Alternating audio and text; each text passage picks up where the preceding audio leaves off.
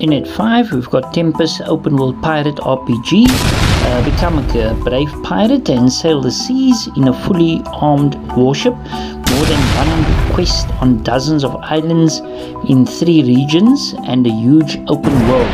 So if you're into the pirate game with the open world, this is one to keep you busy. Going down at 4, we've got King of Sails Ship Battle. Exciting PvP naval battles on 18th century ships. Immerse yourself in the world of historical battles Team naval battles, online 5v5 PvP, stunning graphics, detailed ships, and beautiful maps. So this one is absolutely awesome. We do the PvP style um, pirate uh, games.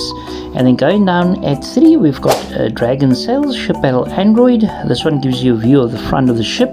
Uh, get your own pirate ship and prepare for war.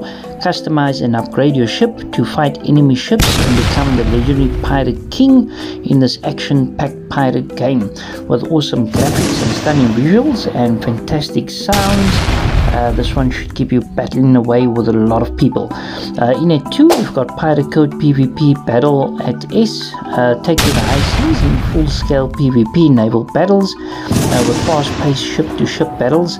Play as a lone wolf or join a fleet for epic 10v10 uh, player naval battles.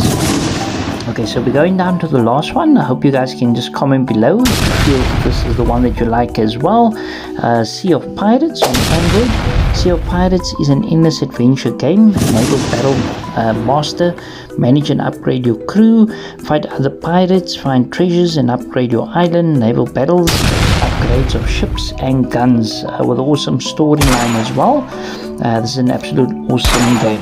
Hope you guys enjoyed the countdown. Stay tuned again for tomorrow.